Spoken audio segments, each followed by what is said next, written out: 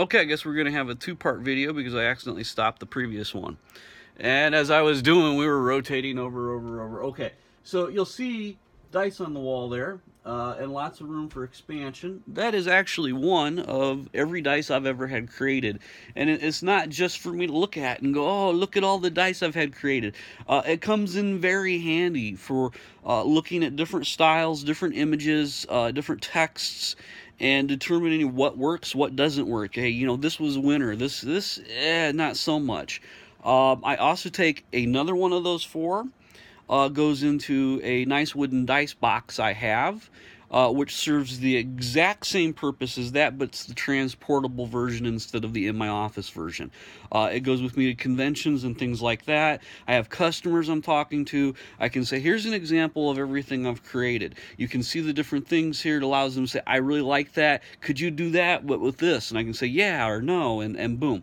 Uh, so that has a purpose. Um, the a third one of Every Dice goes to my mom uh, because she's my mom and she just loves it. And what can you do? Um, the fourth one goes into a box, which is sort of a man, you know what? I think I'm good with those three. It really, for me, it's two, and I have to please mom because I, you know, she's been so supportive of my business. I don't know if I'd be where I, I wouldn't be where I'm at uh, I don't know whether I would be successful without her. Maybe I, I, would be successful without all the support she's given me, but I definitely would not be where I'm at at this stage without all the support she's given me. So, um, uh, you know, that's just one of those things she wants. So I, I do that.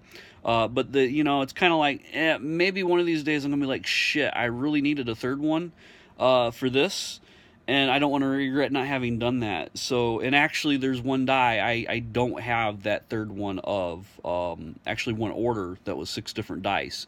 So I'm short uh, six different dice in that third quote master catalog, and that's what it is. It's it's a master catalog uh, representation to be able to show the work, uh, different things, and, and also you know go out. What's what's this style here? Check it out. That's what it looks like. Okay, so that's that's kind of that. Um, the other die I just had come in um, is the sword die. This is actually a reorder, and had I had the Patreon up and running uh, when I was placing this dice order, uh, one of the, the patron things that I would have done is everyone that is a patron would have had an opportunity to order this die uh, as many as they wanted. Uh, basically, I would have said, hey, I'm getting ready to place this order. Here's what I'm ordering. Here's the proof. Here's what it's going to look like. Does anyone in the Patreon want any of these? And if you do, based on your reward level, you get, you know, you know your cost based on the reward level and uh, whether it's shipped to you or how much shipping you're responsible for and so forth. Give me a total of how many you want. I'll shoot you a PayPal invoice. You can pony up and I'll add that to your order. Uh, the fact that you guys are doing it at the time I'd be placing those orders allowed me to offer those discounts discounts, allow me to offer to help pick up shipping in certain cases and things like that based on uh, how much you're, you're, you're, giving me at greater reduced discounts because basically you're chipping in on my wholesale orders. Uh, it helps me out because, you know, if I'm like, man, I, I you know, uh, maybe I'm ordering 100 and all you guys uh, pony up uh, 50 of them or 100 more together and hey, I suddenly get another price break. Uh, so it's kind of the, the symbiotic relationship where uh, uh, by giving you guys discounts, it'll, it'll help me out. So, um, the story on the sword one is uh, it's actually a reorder. It's one of my the few reorders I've placed at this point in time. Dice sell slowly. I order 100 or 200 of a style in, and it may take me um, you know, several months, six months or a year to sell out down enough of those. It's a numbers game. If I have six dice that I'm selling in my catalog, I'm not making very much money. If I have 600 different dice in my catalog, I'm probably going to be making a living on dice. Obviously, I have to come up with, you know, I don't know, tens of thousands of dollars to ever get to that point, or do what I'm doing. I slowly and slowly, slowly grad- grow that inventory, and in doing so, I'm slowly, slowly, slowly, gradually bringing in more income with that business project. Uh, but talking about the sword dice, I indicated that was a reproduction. Here's the original, and I wanted to get it done exactly the same, but my available dice choices change, and you'll be learning about that and why that is and, and different factors of that as uh, we do the Patreon and, and I present things to you. Uh, but I had to, this, the original dice style is no longer available, so I changed the die style. And if you look at them separate, you, you, what did you change style? Uh, but if I put them together, hold up here, you'll see it. And the one on my left, I guess it would be your right. I'm not sure on that camera transposition. uh, would be the original.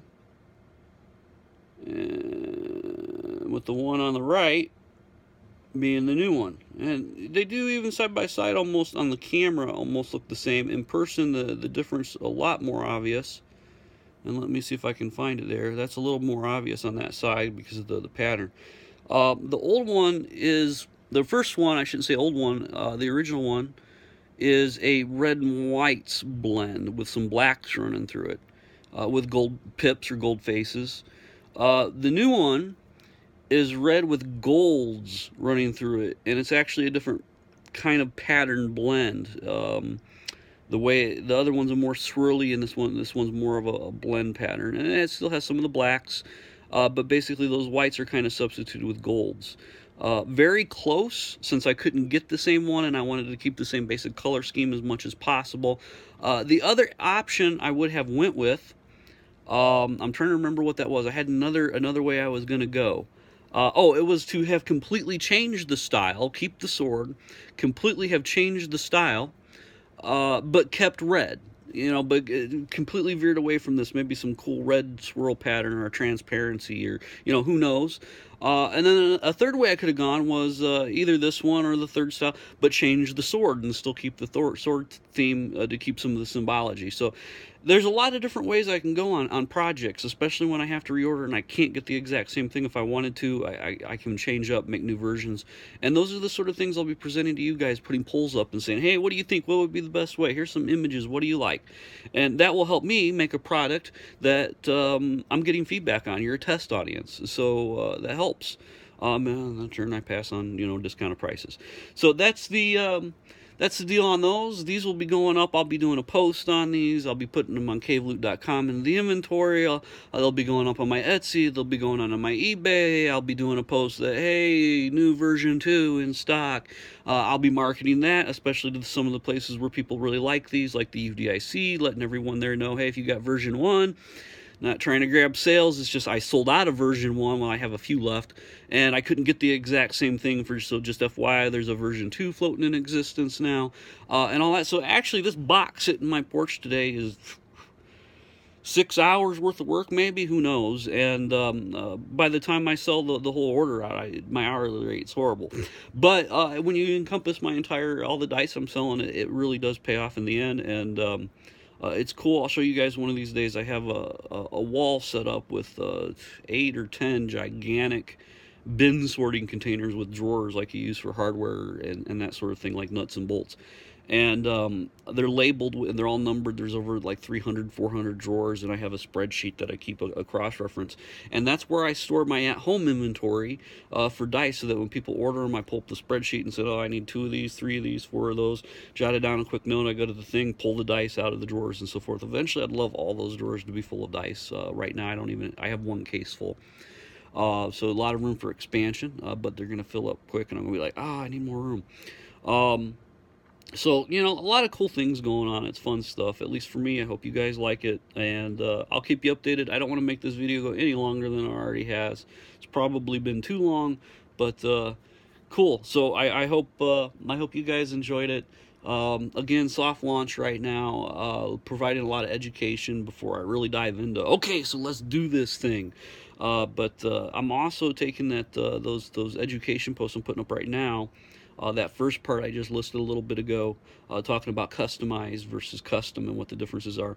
That's going to be like a four or five, maybe a three part, maybe up to a five part uh, post series uh, that I'm also putting all into one document. I'm calling it the Codex of Dice Making or something like that.